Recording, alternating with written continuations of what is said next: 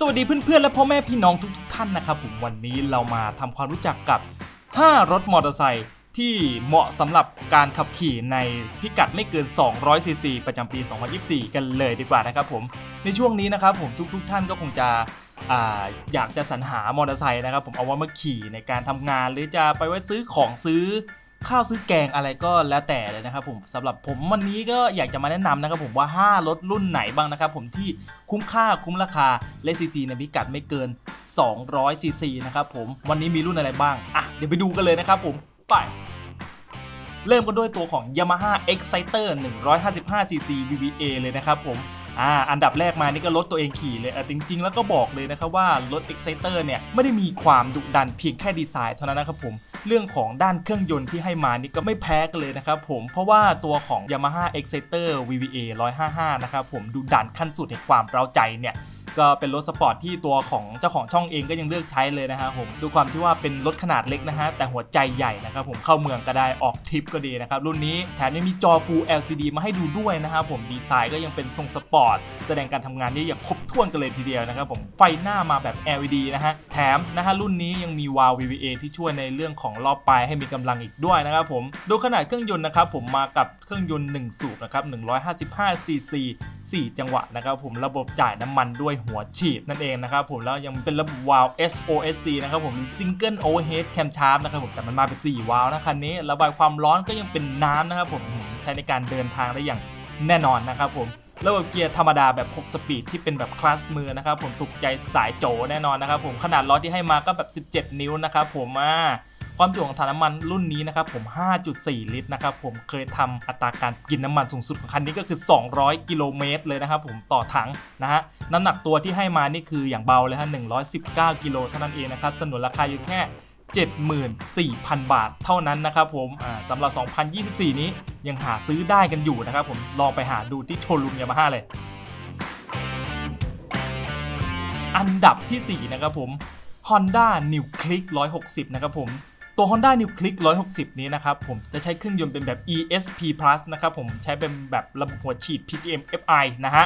และก็ยังมีการประหยัดน้ำมันแถมช่องเก็บของของเขาเนี่ยให้มาถึง 18 ลิตร และยังมีช่องเก็บของที่คอนโซลด้านหน้าพร้อมกับพอร์ต USB ที่สามารถชาร์จแบตเตอรี่มือถือได้ด้วย เออ เอาดิ หน้าจอที่ให้มาก็ยังเป็นแบบเรือนไมล์ขนาดใหญ่นะครับผมแสดงผลครบถ้วนมองเห็นชัดเจนนะฮะ นอกจากนี้นะครับผมยังมีสมาร์ทคีย์ที่สามารถควบคุมการสตาร์ท และดับรถเครื่องยนต์จากกุญแจได้ด้วยนั่นเองนะครับผมซึ่งโดยขนาดเครื่องยนต์นะครับผมมาแบบ 1 สูบนะครับ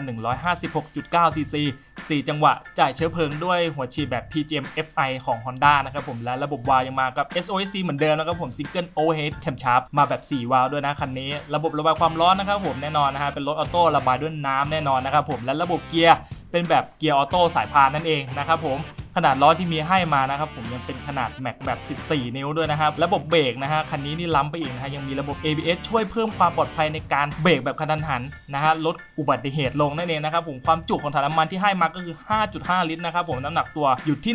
118 กิโลกรัมส่วนราคาอยู่ที่ 63,500 บาทนะครับผมสำหรับตัวของ New Click 160 นะครับผมลองไปหาดูกันได้เลยนะฮะ อันดับที่ 3 GPX Tuscany 150 นะครับผมสกูตเตอร์เครื่องยนต์ ที่มาจากสัญชาติ SYM นั่นเองนะครับผมมาพร้อมกับกุญแจสมาร์ทคีย์นะครับผมช่องเก็บของในขนาดใหญ่ถึง 27 ลิตรกันเลย และยังใช้ระบบเบรกแบบ CBS นะครับผมเป็นแบบดิสเบรกทั้งล้อหน้าและล้อหลังกันเลยนะครับผมหน้าจอเรือนไมล์เป็นแบบ Full Digital LCD นะครับผมคมชัดและมีสัญลักษณ์บอกทุกการใช้งานนั่นเองนะฮะมีระบบสมาร์ทคีย์ด้วยนะรุ่นนี้ที่มาพร้อมกับสัญญาณกันขโมยนะครับผมแถมยังออกแบบรูปทรงเบาะมาแบบสปอร์ตคลาสสิกนะครับผมและนั่งสบาย และยังมีตะขอเอาไว้เกาะเกี่ยวของได้นะครับผมสัมภาระสำหรับใส่หน้ารถเลยที่สามารถพับเก็บได้ด้วยนะรุ่นนี้ สามารถชาร์จแบตเตอรี่มือถือได้ โดยใช้สายชาร์จ USB ไม่ต้องง้ออะแดปเตอร์อีกต่อไปนะครับผม ขนาดเครื่องยนต์นะครับผมมากับเครื่องยนต์1สูบ149.6 cc นะครับผมเป็น 4 จังหวะจาก SYM นะครับผมระบบจ่ายเชื้อเพลิงด้วยหัวฉีดนะครับผมแล้วก็ระบบวาล์วเป็นแบบ SOHC อีกแล้ว Single Overhead Camshaft นะครับผมแต่มาแบบ 2 วาล์วนะคันนี้ ระบบเกียร์เป็นแบบออโต้นะครับผมขนาดล้อที่ให้มาก็คือขนาด 12 นิ้วนะครับผมความจุถังน้ำมันอยู่ที่ 5.7 ลิตร น้ำหนักตัวรถเพียงแค่ 122 กิโลกรัมมาพร้อมราคา 59,900 บาทนะครับผมสำหรับ GPX Tuscany 150 นะครับผมหาซื้อได้ในศูนย์ของ GPX เลยนะครับ อันดับที่ 2 Yamaha GT 125 Yamaha GT 125 นะครับผมเป็นมอเตอร์ไซค์ระบบออโตเมติกแบบสายพานนะครับผมที่มีอัตราเร่งที่ดี แล้วก็ประหยัดน้ำมันรุ่นหนึ่งเลยนะฮะ แถมรุ่นนี้นะครับยังมาพร้อมกับกุญแจรีโมทนะครับที่สามารถเปิดช่องกุญแจได้โดยอัตโนมัติ และส่งสัญญาณแจ้งตำแหน่งของรถได้ด้วยนั่นเองโอ้โห สุดยอดไปเลยนะฮะขนาดเครื่องยนต์นะครับผมเป็นแบบ 1 สูบ 125 ซีซีนะครับผม 4 จังหวะแบบเครื่องยนต์บูคอร์นะครับผมก็ยังมากับการจ่ายน้ำมันแบบหัวฉีดนะครับผมระบบวาล์วที่มีให้มานะฮะเป็นแบบ SOSC นะครับผมกับ Single Overhead Camshaft นะครับผม2วาล์วนั่นเอง ระบบเกียร์ที่มีนะคือเป็นแบบรถออโต้นะครับผมขนาดล้อที่มีให้เป็นขนาดแม็ก14 นิ้วนะฮะความจุทั้งน้ำมันอยู่ที่ 4.2 ลิตรนะครับผมและน้ำหนักตัวรถอยู่ที่ 96 กิโลกรัมเท่านั้นเองนะครับ ส่วนราคาอยู่ที่ 53,000 บาท ลองไปหาซื้อจับจองกันได้ที่ศูนย์ยามาฮ่าใกล้บ้านคุณเลยนะฮะ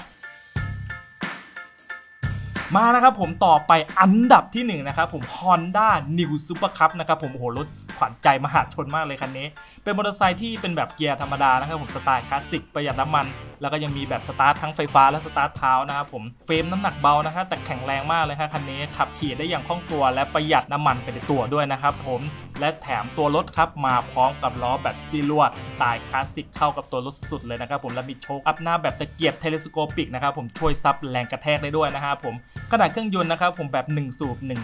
109.5 ซีซีนะครับผมมาแบบ 4 จังหวะระบบจ่ายน้ำมันเชื้อเพลิงแบบ PGM FI นะครับผมเป็นแบบหัวฉีดของทาง Honda นะครับผมแล้วก็ระบบวาล์วก็ยังเป็น SOSC นะครับผมสำหรับ Single Overhead Cam Shaft ตัวนี้มี 2 วาล์วนะครับผมระบบเกียร์มาเป็นแบบเกียร์ธรรมดานะครับ 4 สปีดแบบคัตออโต้นั่นเองนะครับผมและขนาดแล้วที่มีให้คือ 17 นิ้ว ความจุของน้ำมันเชื้อเพลิงนะครับผมมาแบบ 4.2 ลิตรนะครับผมพร้อมกับน้ำหนักตัวรถอยู่ที่ 98 กิโลกรัมนะครับผมสนนราคาอยู่ที่ 48,400 บาทนะครับผมเอาละครับก็จบกันไปแล้วนะครับผมกับ 5 อันดับรถมอเตอร์ไซค์ ในปี 2024 ที่ทางเขียนเคแนะนำนะครับผมมีรุ่นไหนที่ถูกใจคุณผู้ชมกันบ้างนะครับผมลองคอมเมนต์เข้ามาที่ใต้ล่างคลิปได้เลยนะครับผมสำหรับวันนี้นะฮะคันที่ถูกใจผมที่สุดก็น่าจะต้องเป็น Yamaha Exciter อยู่แล้วนะครับผมเพราะว่าเรื่องของรอบการขับขี่นี่จี๊ดจ๊าดชอบใจจริงๆนะครับผมสำหรับใครที่ชอบคลิปนี้นะครับผมฝากกดไลค์กดแชร์ให้กับช่องเคนเคชแนลนะครับผมเดี๋ยวคลิปใหม่ๆจะตามออกมาเรื่อยๆเลยนะฮะถ้าใคร มีข้อติติงหรือว่ามีข้ออยากจะให้ผมปรับปรุงอะไร ก็สามารถพิมพ์คอมเมนต์ไว้ข้างล่างได้เลยนะครับสำหรับวันนี้ก็บ๊ายบายนะครับผมลาไปก่อนสวัสดีครับ